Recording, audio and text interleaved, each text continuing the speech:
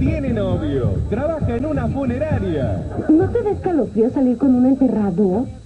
Bueno, tal vez a los 29, pero ahora que tengo 30 estoy un poco más... em, ¿Desesperada? Pase usted, podemos ofrecerle un ataúd. Ah, ah, no, un café. No, no, no. eh, eh, juro que fue un accidente. ¿Pequeños? Si quieres, yo podría acompañarlo. Solo sobre mi cadáver. La Niñera, este lunes a las 5 de la tarde por Telefe.